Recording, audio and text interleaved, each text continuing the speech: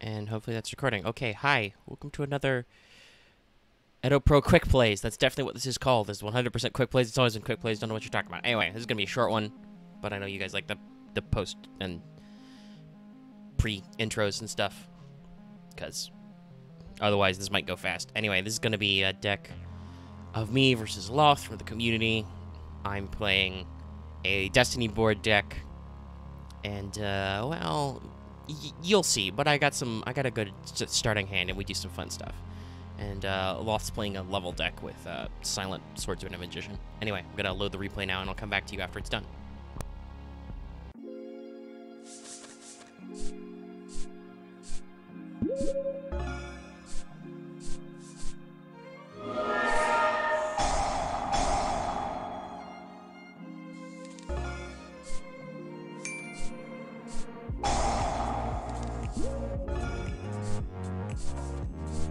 Yeah.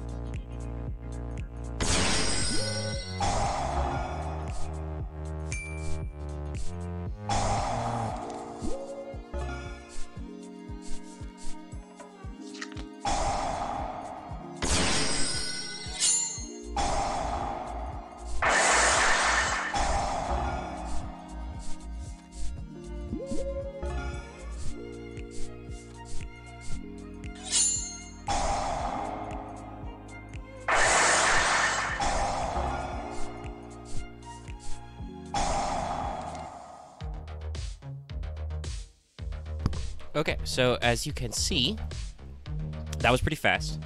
Uh, played Dave. Uh, so in EDOPro, I'm pretty sure Destiny board's a little broken, and not like in the OP way, but in the like the the programming is not quite correct.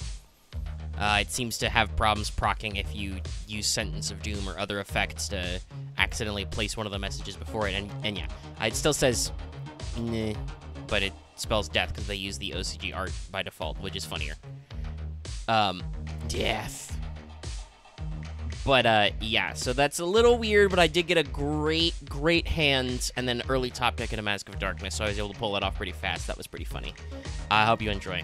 Uh, stay tuned for more quick bits and stuff. Don't forget to like, comment, and subscribe. And stay tuned for streams of Yu-Gi-Oh! Okay, bye everybody.